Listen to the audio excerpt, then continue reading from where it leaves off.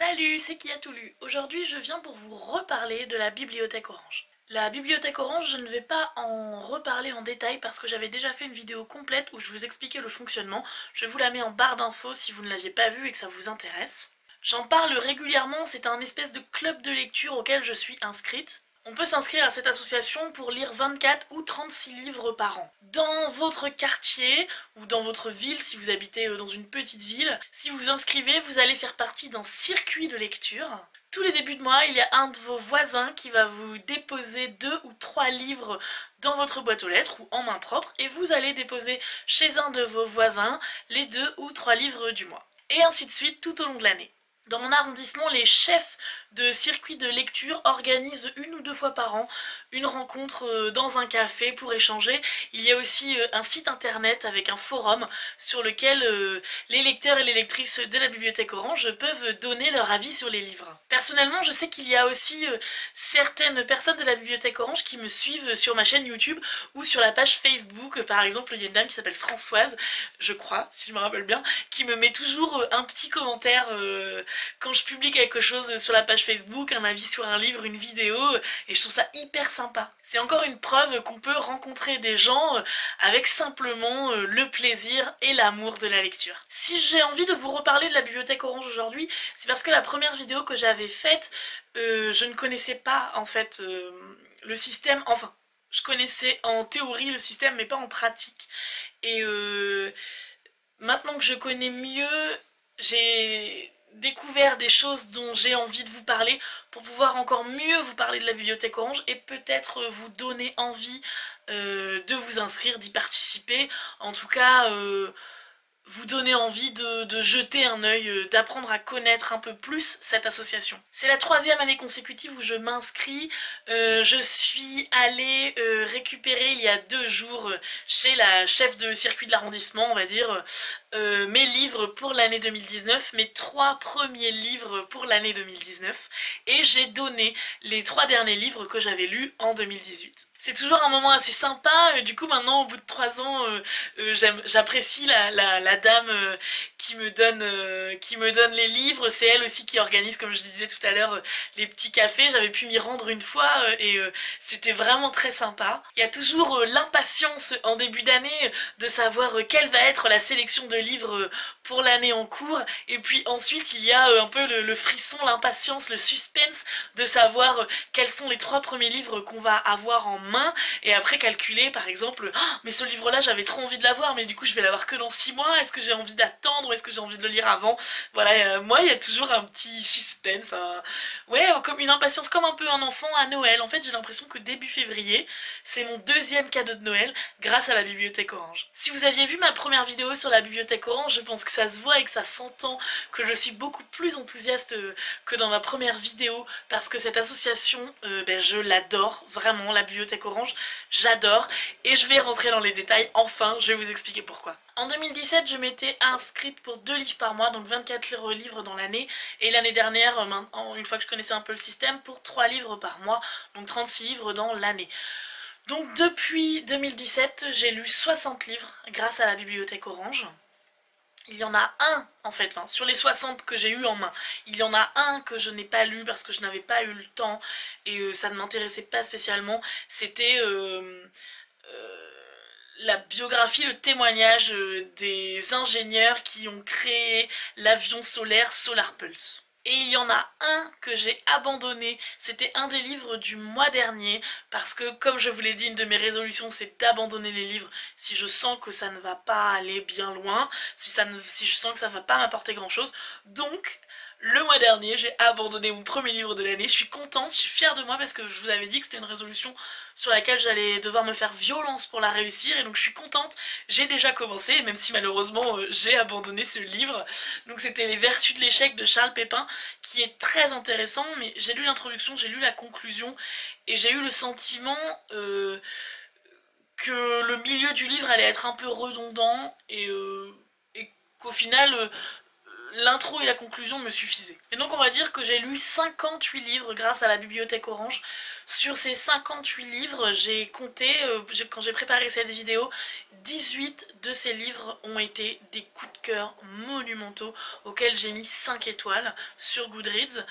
Euh, j'en ai, je, je vais pas tous les citer parce que en fait la majorité des livres que j'ai cités lorsque j'ai fait euh, mon top 2018 sont des livres que la Bibliothèque Orange m'avait proposés. Mais en tout cas, je trouve que 18 sur 58, c'est un très bon score, surtout que sur les, 40 restants, il y en a deux ou trois que j'ai vraiment pas aimé, mais sinon le reste, euh, même si ça n'a pas été des énormes coups de cœur, j'ai vraiment beaucoup aimé, et à chaque fois, c'est des livres que je n'aurais pas lu. La majorité du temps, c'est des livres dont je n'ai même pas entendu parler. Pourtant, cette année, avec le hashtag euh, la rentrée littéraire du net 2018, j'avais vraiment prêté attention à la rentrée littéraire de septembre, etc. J'ai regardé aussi du coup la rentrée d'hiver 2019, euh, et pourtant, la bibliothèque orange arrive encore à me surprendre avec des titres dont je n'ai pas entendu parler. La sélection de la bibliothèque orange, la sélection de l'année est faite par un comité de lecture euh, que je devrais rencontrer bientôt. Il faut que je réponde aux mails où ces personnes me proposent gentiment de les rencontrer. J'ai très envie, je suis impatiente de les rencontrer. J'ai énormément de questions à leur poser.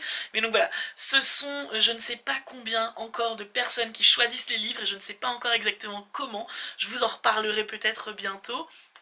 Mais donc ces personnes, toute l'année, lisent et sélectionnent des livres. Et au bout de deux ans d'inscription maintenant, je leur fais aveuglément confiance pour me faire voyager, pour me faire vivre des émotions incroyables et pour me faire découvrir des auteurs et des livres comme je l'ai déjà dit, sur lesquels je n'aurais jamais mis la main sinon. La sélection propose toujours des maisons d'édition très variées. J'ai lu des livres de maisons d'édition dont je n'avais même jamais entendu parler. Galade d'édition, Finitude, Les Arènes, Liana Levy, Sabine Vespizer, Le Sonneur, Salvatore, Quai Voltaire, Gaïa Édition, même euh, c'est très connu, mais Gallmeister, je ne connaissais pas du tout, euh, j'ai découvert avec la Bibliothèque Orange, je n'avais jamais entendu parler de cette maison d'édition, alors que je sais les couvertures magnifiques, etc., tout le monde connaît, mais moi, euh, avant ça, est-ce que vous connaissez, vous, les maisons d'édition que je viens de citer? Grâce à cette sélection, j'ai aussi lu des livres écrits par des auteurs de nationalité que je n'avais jamais lus. Et sur ces 60 livres, j'ai voyagé dans le monde également. J'ai compté, il y en avait 32 écrits par des auteurs français, 6 écrits par des auteurs américains, mais sinon j'ai lu des écrits palestiniens, euh, irakiens, euh, indiens, allemands, chinois, islandais, israéliens, libanais, et je crois que j'en oublie. J'ai découvert avec mes lectures que la bibliothèque orange c'est une sélection très ouverte. Là je vous ai parlé euh, du fait de mettre en avant des maisons d'édition que les gens ne lisent pas forcément, qui ne sont pas forcément mis en avant dans les médias, de lire euh, des écrits de nationalité qu'on n'a pas forcément l'habitude de lire, mais dans les thématiques aussi, dans les thématiques. Mais je crois que c'est ça aussi qui me plaît le plus si je ne devais retenir qu'une seule chose, si je devais vous dire qu'une seule chose sur la bibliothèque orange, c'est ça, c'est l'ouverture des thématiques. À peu près la moitié des livres que j'ai lus étaient des romans, mais le reste c'était du témoignage, de l'histoire, des essais.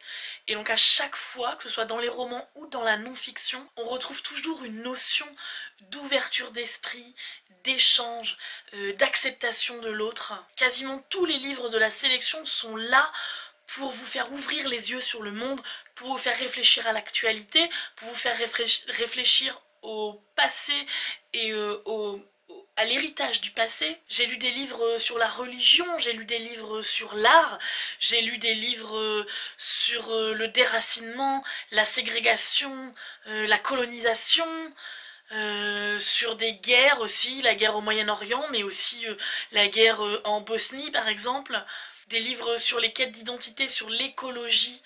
J'ai appris, j'ai grandi, je me suis enrichie grâce au livre de la bibliothèque orange. Et il y a un dernier point qui est aussi très important pour moi, une dernière thématique, un dernier chiffre à vous donner. C'est que sur ces 60 livres, 31 livres étaient écrits par des autrices. Et sur ces 60 livres, je n'ai pas compté combien des livres étaient soit des biographies ou des autobiographies de femmes de l'histoire, souvent des personnages euh, euh, très indépendants qui ont aidé à briser les codes de la société et qui ont aidé à faire grandir et évoluer la condition de la femme, qui sont des symboles très très forts euh, de l'histoire.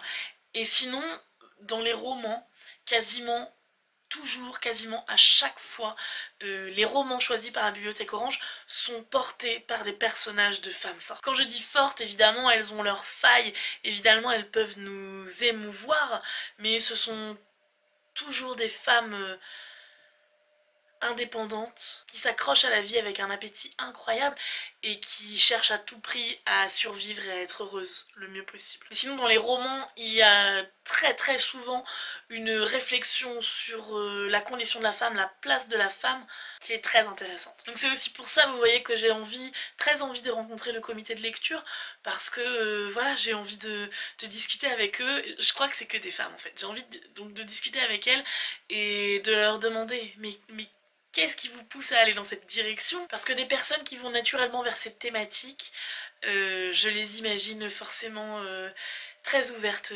d'esprit, euh, très tolérantes, passionnantes. Sur les 36 livres sélectionnés pour l'année 2019, j'ai envie de vous parler des 10 qui me donnent le plus envie, que je suis le plus impatiente de lire. Il y a d'abord la papeterie Tsubaki de Ito Agawa, donc c'est apparemment une jeune fille qui va reprendre la papeterie familiale, qui va devenir écrivain public et qui va euh, aider les gens de son quartier ou de sa ville euh, à écrire des lettres, à bien choisir le papier, à bien choisir le stylo, à bien choisir les mots.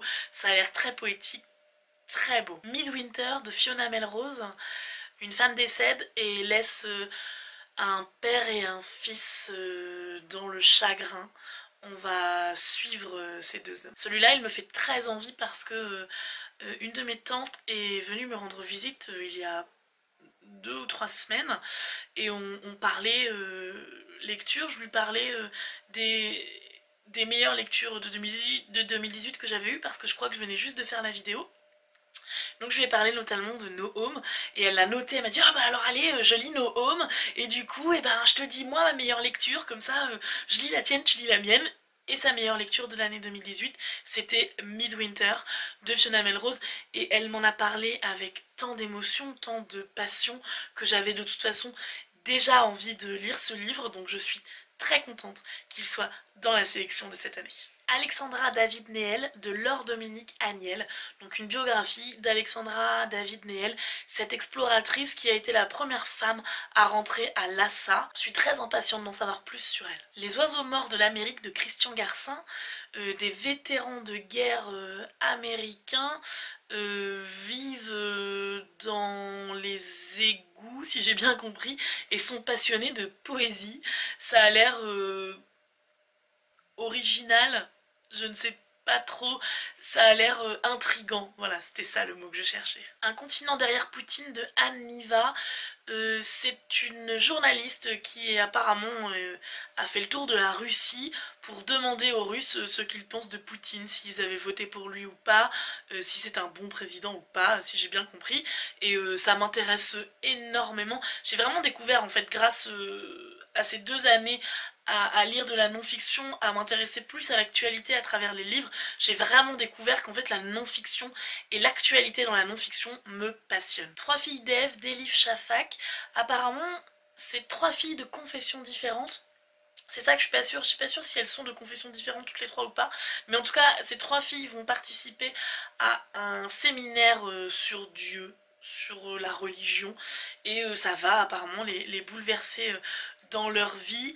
Euh, ben voilà, je, suis intriguée aussi par euh, les questions de, religion. Donc euh, ça m'intéresse. Svetlana, la fille de Staline, de Claude Catherine Kiechman. La biographie de la fille de Staline. Je crois que j'ai pas besoin de dire grand chose de plus. Chez les Yan de Lan Yan, euh, l'autrice nous raconte euh, l'histoire de la Chine à travers plusieurs générations d'histoire de sa famille. Là où les chiens aboient par la queue de Estelle Sarabul, c'est un roman guadeloupéen. Ça a l'air émouvant et très drôle. Euh, je ne sais pas pourquoi, j'imagine que la littérature guadeloupéenne est aussi peut-être empreinte de réalisme magique comme la littérature haïtienne ou la littérature sud-américaine. Je me trompe peut-être, mais en tout cas, j'avais entendu du bien sur ce roman à la rentrée littéraire donc je suis impatiente. Et le dernier de cette liste, c'est Une nuit de Trinxuan Twan. donc je suis très contente, vous voyez, parce que je l'ai en main. Euh, je l'avais mis dans ma liste de ceux que j'avais le plus envie de lire et il fait partie de la première sélection que j'ai euh, pour cette année, donc je suis très contente. L'auteur est un astrophysicien euh, vietnamien, qui vit aux états unis maintenant, et en fait il va nous raconter une nuit les étoiles, euh, le cosmos. Euh, on va explorer, rester euh, toute une nuit avec lui. Il y a des photos dans le livre, enfin, ouais, pareil, l'astrophysique au final, enfin, l'astrophysique, les étoiles, le cosmos, l'espace, ça m'intéresse aussi énormément, donc je suis impatiente de découvrir ça. Et du coup, avant de finir cette vidéo, je vous montre quand même les deux autres livres de la sélection du mois. Un autre roman que je suis impatiente de lire, Alain Virkondélé, Guernica 1937. Euh, l'histoire de la création de Guernica par Picasso et l'histoire de l'amour entre Dora Maar et Picasso. J'aime euh, j'aime beaucoup les non-fictions qui se rapportent à l'art, principalement parce que euh, ben, je travaille, je suis libraire dans un musée, donc souvent en fait les livres de la bibliothèque Orange que j'ai lus qui traitaient d'art ont été des coups de cœur et je les ai vendus ensuite à la librairie et ça me permet encore plus de pouvoir les partager euh, avec les gens, voilà, de, pouvoir ensuite les vendre à la librairie, de pouvoir les conseiller euh, à mes clients, euh, c'est encore plus un, bonheur pour moi. Le dernier c'est Les Suprêmes chantent le blues de Edward Kelsey Moore, donc c'est le deuxième tome des Suprêmes. je n'ai pas lu Les Suprêmes, donc j'ai envie de lire Les Suprêmes avant de lire celui-là. J'ai vu qu'il était à la bibliothèque que je pouvais l'emprunter.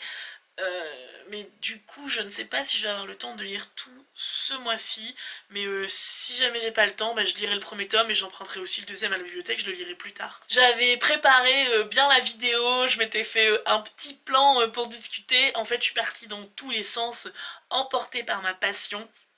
Mais en même temps je me dis que c'est bien. C'était le but que je vous montre et que je vous fasse ressentir à quel point euh, je suis attachée à cette association maintenant.